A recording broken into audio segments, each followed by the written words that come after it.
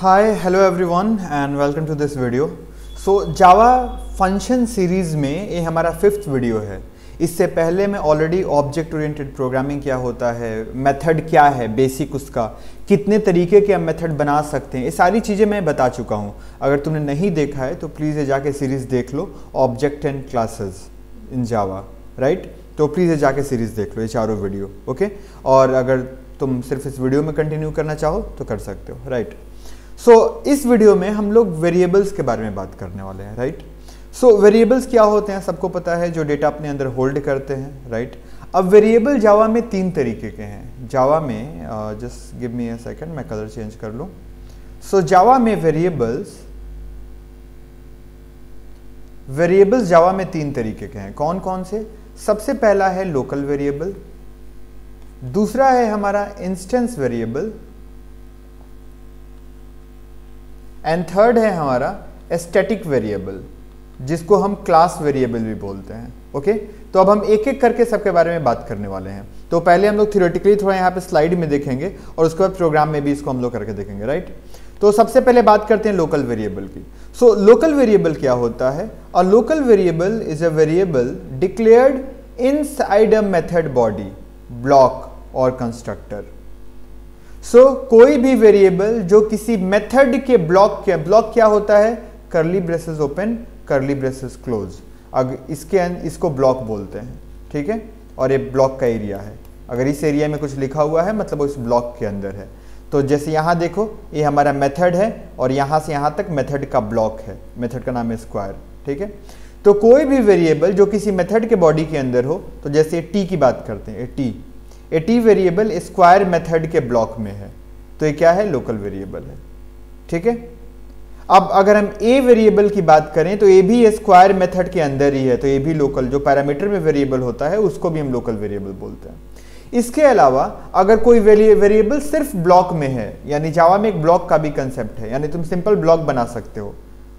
कोई मेथड या इफ़ या फॉर का ब्लॉक नहीं सिंपल कर ली ब्रेसेस ओपन क्लोज अब अभी तुम्हारे कोर्स में नहीं है। बट ब्लॉक uh, के अंदर तुम कोई वेरिएबल लेते हो जैसे आई एन टी ए तो ये भी लोकल वेरिएबल है। इस ब्लॉक के बाहर यूज़ नहीं हो सकता। उसी तरह कोई वेरिएबल तुम कंस्ट्रक्टर के अंदर डिक्लेयर करते हो। कंस्ट्रक्टर में अभी पढ़ाया नहीं हूँ आगे पढ़ा बताऊँगा। कंस्ट्रक्टर पे वीडियो में डालूँगा ठीक है? तो कंस्ट्रक्टर बेसिकली फ़ंक्शन की तरह ही होता है ठीक है? तो अगर कंस्ट्रक्टर के अंदर भी कोई वेरिएबल डिक्लेयर करते हो तो क्या कहलाएगा? लोकल वेरिएबल तो अभी तुम सिंपल ये समझ लो कि कोई भी वेरिएबल अगर मेथड के अंदर डिक्लेयर किया गया है ठीक है? तो क्या कहलाएगा? लोकल वेरिएबल जैसे यहाँ पे इस मेथड में दो वेरिएबल है ए और टी ये दोनों लोकल वेरिएबल है, ठीक है? तो चलो इसको हम लोग करके देखते हैं। इसको हम लोग प्रोग्राम में करके देखेंगे तो ज़्यादा बेटर तरीके से क्लियर होगा राइट तो विजुअल स्टूडियो कोड अपना हम ओपन कर लेते हैं। अब यहाँ पे हमारा कैल्क क्लास है, इसके अंदर एक मेथड हम बनाते हैं। सो वॉइड एंड मैं इसके पहले पब्लिक भी दे देता हूँ। So public void my age right अब इसके अंदर हम एक वेरिएबल ले लेते हैं। I N T age equals twenty five और फिर हम प्रिंट कर देते हैं। System dot out dot print L N और यहाँ पे हम मैसेज दे देते हैं। My age is plus age right तो यहाँ पे जो वेरिएबल देख रहे हो एज नाम का इसको हम डिक्लेयर इस मेथड के अंदर किए हैं। इस मेथड को इस वेरिएबल को हम यहाँ पे माई एज मेथड के ब्लॉक के अंदर इसको डिक्लेयर किए हैं। तो एज वेरिएबल क्या हो गया? लोकल वेरिएबल अब ये सिर्फ़ इसी मेथड के अंदर यूज़ हो सकता है माई एज मेथड के ब्लॉक में। इसके बाहर यूज़ नहीं हो सकता। अगर इस क्लास में कोई दूसरा मेथड है तो वो इस वेरिएबल को यूज़ नहीं कर सकता राइट सो so, देखो मैं शो करता हूँ। तो अगर अभी इस प्रोग्राम को हम रन करें सो so, कैसे कॉल करेंगे मेथड को? वो ऑलरेडी पिछले वीडियोस में बता चुका हूँ O B J dot my age so अगर इस प्रोग्राम को हम रन करते हैं अभी रन करके देखते हैं। So Java C A B C dot Java and then Java A B C so देखो आ गया my age is twenty five अब चलो इसी क्लास में एक और मेथड हम बनाते हैं। ये मेथड है हमारा पब्लिक uh, यो इज़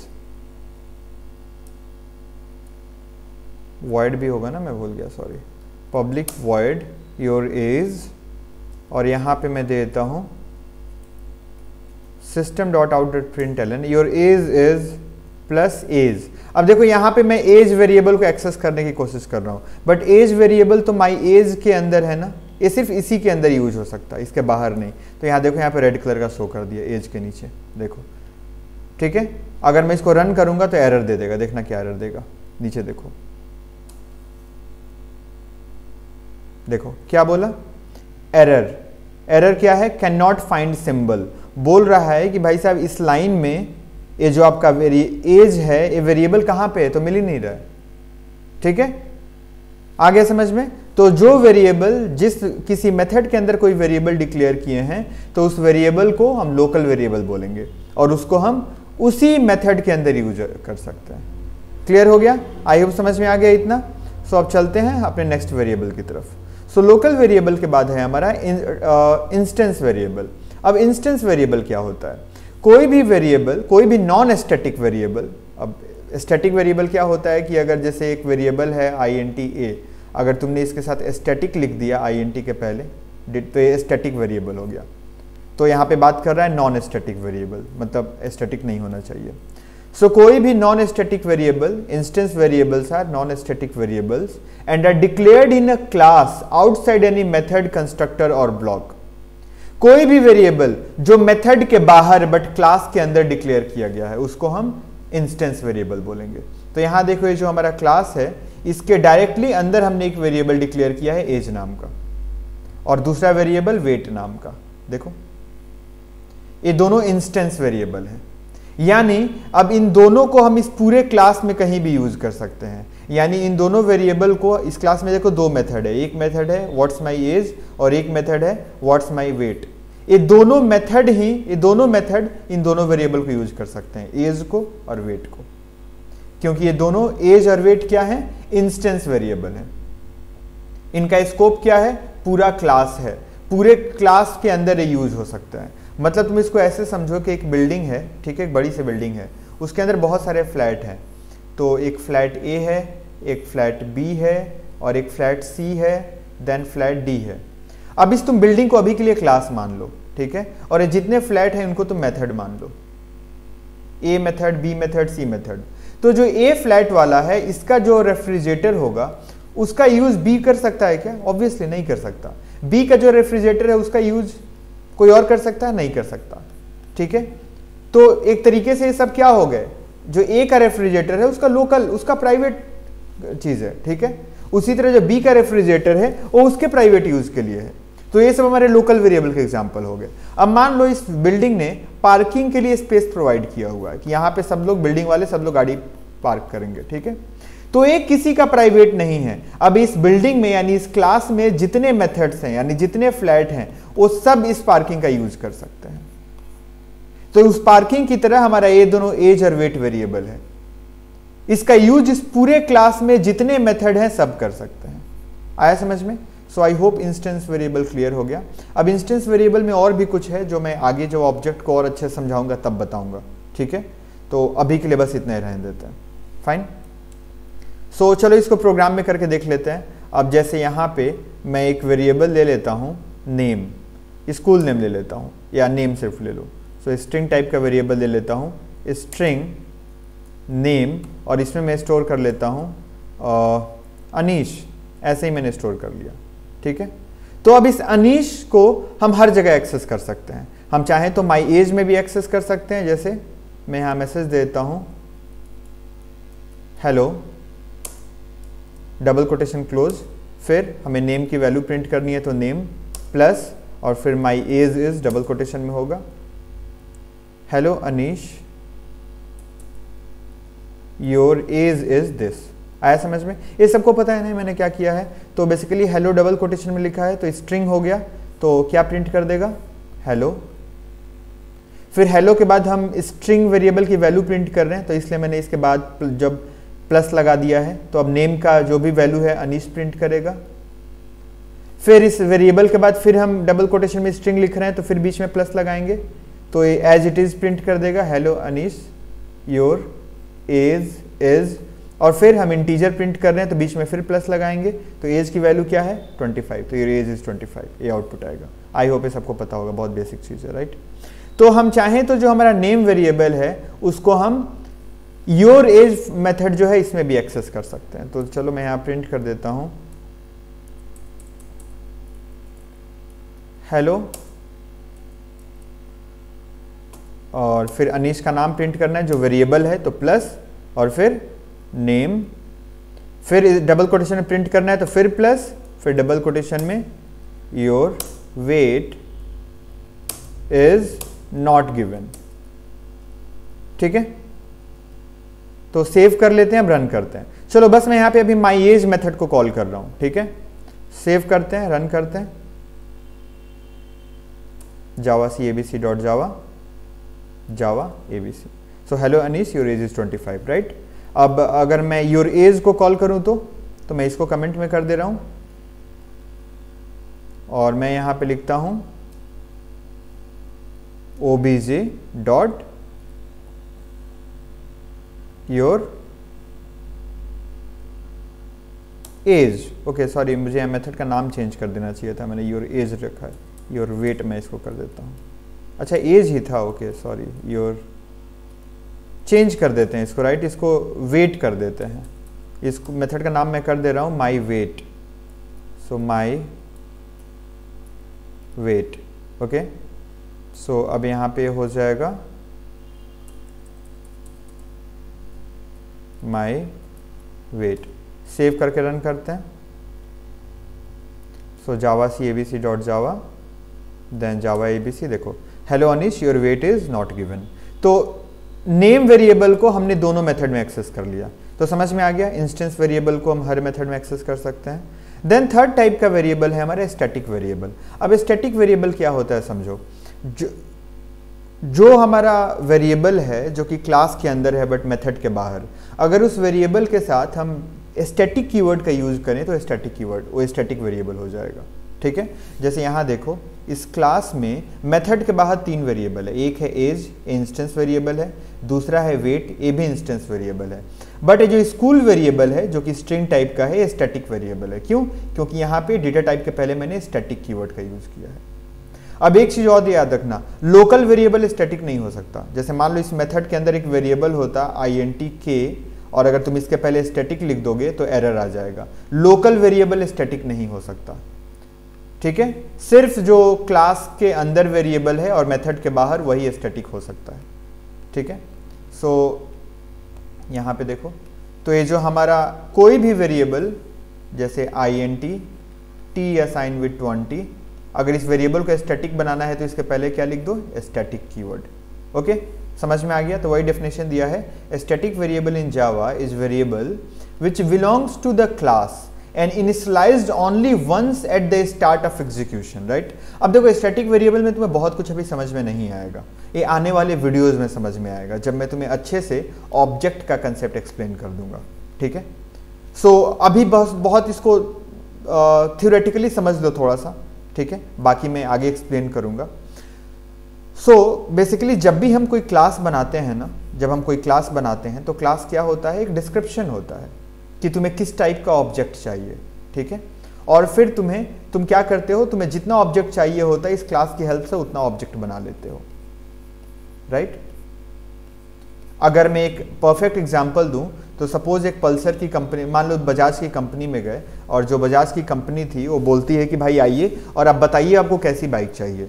अब बाइक का मैक्सिमम स्पीड क्या होना चाहिए? बाइक में नंबर ऑफ़ गियर कितना होना चाहिए? बाइक का कलर क्या होना चाहिए? इवन बाइक का नाम क्या होना चाहिए? ये भी बताइए।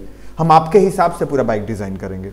तो सपोज़ तुम्हारी एक कंपनी है और तुम्हारे कंपनी में just give me a minute give me a second okay so तुम्हारे कंपनी में दो से एम्प्लॉय वर्क करते हैं ठीक है? तुम उन सबको बाइक गिफ्ट करना चाहते हो। तो तुम बजाज की कंपनी में गए और तुमने उनको एक पेपर दिया कि ओके सी दिस मुझे एक मिनट साफ़ कर लेने दो पूरा हटा लेने दो। सो so, तुम बजाज की कंपनी में गए और उनको तुमने एक पेपर पेपर वहाँ पे बैठ के तुमने उठाया और बोला, ओके, मेरे बाइक का नाम होगा पल्सर 800 ओके? मेरे बाइक का कलर होगा, सारे बाइक का कलर होगा रेड बाइक में नंबर ऑफ़ गियर जो होंगे एट गियर होंगे. मैक्सिमम स्पीड जो होगा 500 होगा, ठीक है? तो तुमने डिस्क्रिप्शन बजाज की कंपनी को लिख के दे दिया। अब बजाज की कंपनी क्या करेगी? इस डिस्क्रिप्शन के हिसाब से तुम्हारे दो सौ बाइक चाहिए ना, दो सौ बाइक बना देगी।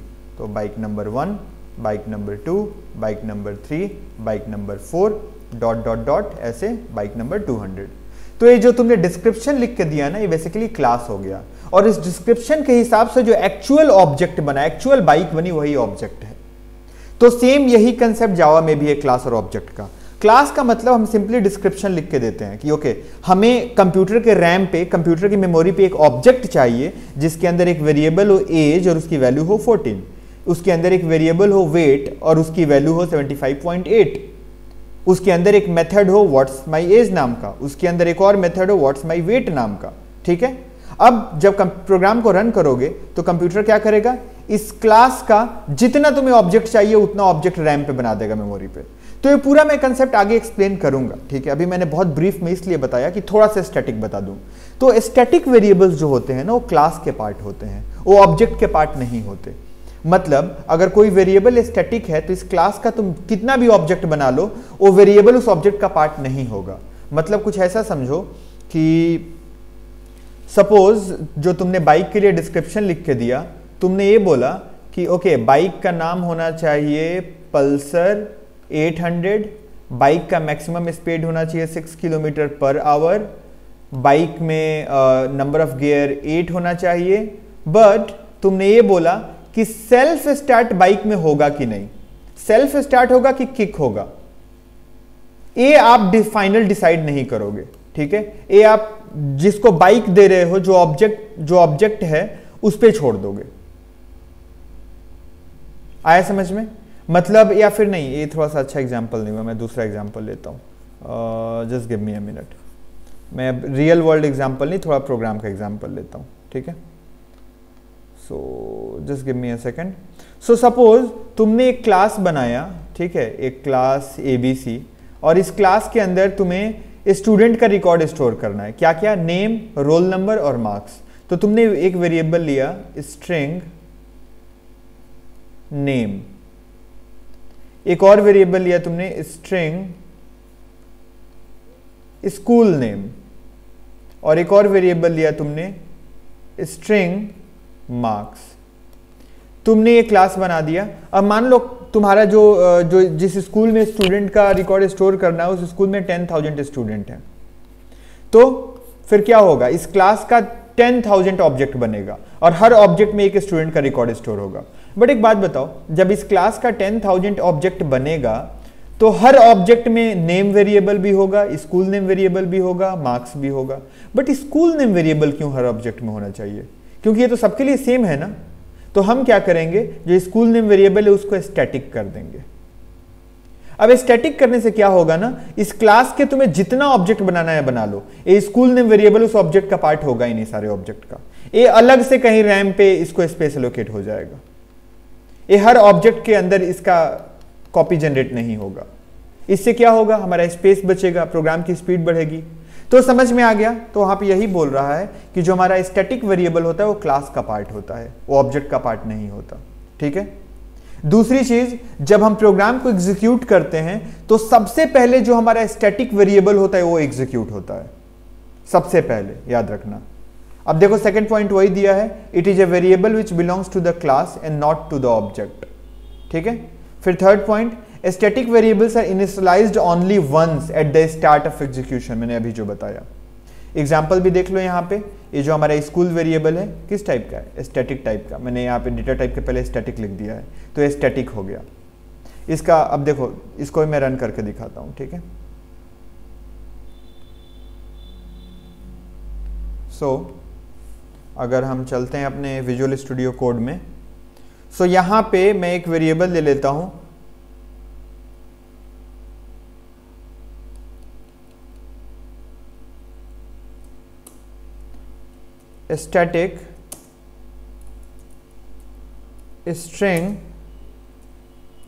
School name assign with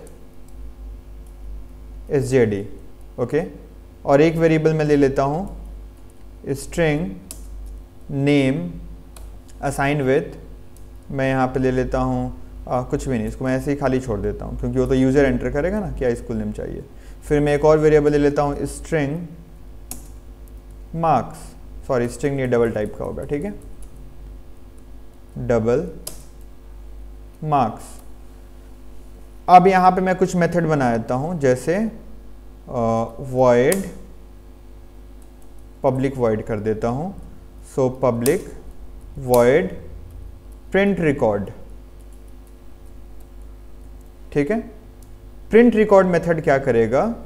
तुम्हारा नेम स्ट्रिंग नेम और डबल मार्क्स स्टोर करेगा मतलब एक्सेप्ट करेगा पैरामीटर नहीं जानते तो जाके पिछला वीडियो देख लो और फिर डेटा को प्रिंट कर देगा। So system dot out dot print L N और यहाँ पे मैसेज प्रिंट कर देता हूँ। Student name is student name किसमें नेम में ना, जो पैरामीटर आएगा डेटा नेम में स्टोर हो जाएगा। तो स्टूडेंट नेम इज़ नेम फिर student marks student school name school name is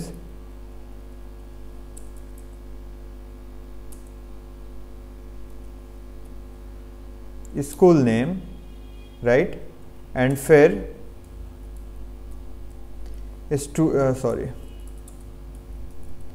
System dot out dot println student.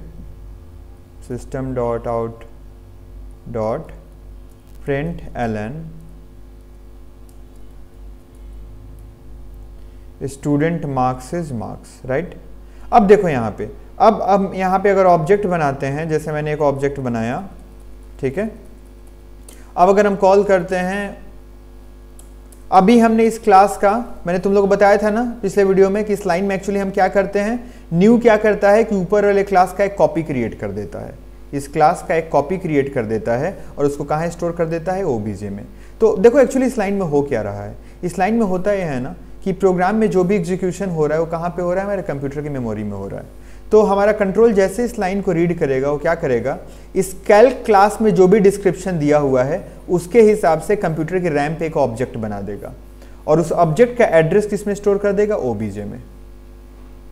OBJ में स्टोर कर देगा। ओके तो अब चलो यहाँ पे सपोज़ हम कई सारे ऑब्जेक्ट बना लेते हैं। ऑब्जेक्ट तो हम कई सारे बना सकते हैं। तो यहाँ पे मैंने एक ऑब्जेक्ट बनाया है। और फिर हम एक और ऑब्जेक्ट बना लेते हैं। So calc obj1 assign with new calc हम एक और थर्ड ऑब्जेक्ट बना लेते हैं। इसका नाम obj2 दे देते हैं। तो अब देखो होगा क्या? जब हमारा कंट्रोल प्रोग्राम को एग्जीक्यूट करना स्टार्ट करेगा, जब हमारा कंट्रोल मेन से प्रोग्राम को एग्जीक्यूट करना चालू करेगा तो यहाँ पे पहला ऑब्जेक्ट बन, जब इस लाइन को रीड करेगा तो न्यू कैल्क तुरंत कंप्यूटर की मेमोरी पे जाएगा। और ये जो क्लास में डिस्क्रिप्शन दिया है, उसके हिसाब से हमारा पहला ऑब्जेक्ट बना देगा। तो इस ऑब्जेक्ट में क्या क्या होगा? हमारा एक वेरिएबल होगा नेम दूसरा वेरिएबल होगा मार्क्स और स्कूल नेम होगा क्या? इस ऑब्जेक्ट में नहीं होगा। मैंने क्या बताया था? जो स्टैटिक वेरिएबल होता है ऑब्जेक्ट का पार्ट नहीं होगा। तो हमारा कंट्रोल क्या करेगा? स्कूल नेम वेरिएबल को रैम पे अलग से एक जगह स्पेस एलोकेट कर देगा। स्कूल नेम जिसमें इस जेडी स्टोर है। वो ऑब्जेक्ट का पार्ट नहीं होगा। और इस स्कूल नेम जो अलग से रैम पे दूसरी जगह है, उसको मेरे ऑब्जेक्ट से कनेक्ट कर देगा। और जब ऑब्जेक्ट बन गया तो इसके एड्रेस किसमें स्टोर कर देगा? ओबीजे में। तो ओबीजे अब ये पूरा कंसेप्ट मैं अगले वीडियो में समझाऊँगा। अभी तो मैं जस्ट मुझे स्टैटिक बताना था, इसलिए बता दे रहा हूँ। फिर जब अगला लाइन एग्जीक्यूट होगा calc OBJ one assign with new calc तो एक और ऑब्जेक्ट बनेगा क्लास का। इसमें भी वही होगा। नेम होगा। मार्क्स होगा। हालाँकि हमारे मेथड भी होगा, मैं लिखना भूल गया। ये प्रिंट रिकॉर्ड जो मेथड है प्रिंट रिकॉर्ड तो उसको समझ लो होगा। अब हमारा सेकंड ऑब्जेक्ट में भी क्या होगा? हमारा कंट्रोल क्या करेगा? जो पहले से इस जेडी नाम का स्कूल नेम नाम का वेरिएबल है रैम पे, इसी को इससे भी कनेक्ट कर देगा। और इस ऑब्जेक्ट का एड्रेस किसमें स्टोर कर देगा? ओबीजे वन में। फिर हम थर्ड ऑब्जेक्ट मान लो, एक और ऑब्जेक्ट बनाते हैं तो फिर वही होगा। तो यहाँ पे देखो कितनी अच्छी चीज़ है ना। सबका स्कूल नेम तो सेम है ना। तो स्कूल नेम को हमने स्टैटिक कर दिया तो रैम पे अब अलग है। हर ऑब्जेक्ट के अंदर स्कूल नेम वेरिएबल क्रिएट नहीं हो रहा है, जिससे हमारा स्पेस बच रहा है। आया समझ में? क्लियर हो गया? तो अभी इस पर हम लोग बहुत डिटेल में अगले वीडियो में बेसिकली हम लोग ये पूरा ऑब्जेक्ट का कंसेप्ट समझेंगे कि ऑब्जेक्ट कैसे क्रिएट होता है कैल्क ओबीजे क्यों लिखते हैं न्यू क्या करता है। उसके बाद ये स्टैटिक का कंसेप्ट और पूरा मैं एक वीडियो इस पर बनाऊँगा स्टैटिक के कंसेप्ट पे। अभी जिस मैंने ब्रीफ में समझाया कि वेरिएबल्स थोड़ा सा मतलब इतना भी ब्रीफ नहीं वीडियो तो आधा घंटे का हो गया। बट आई होप समझ में आ गया होगा कि लोकल वेरिएबल क्या होता है इंस्टेंस uh, वेरिएबल क्या होता है स्टैटिक वेरिएबल क्या क्या होता है right so thank you for watching this video मिलते हैं हम लोग अगले वीडियो में। Thank you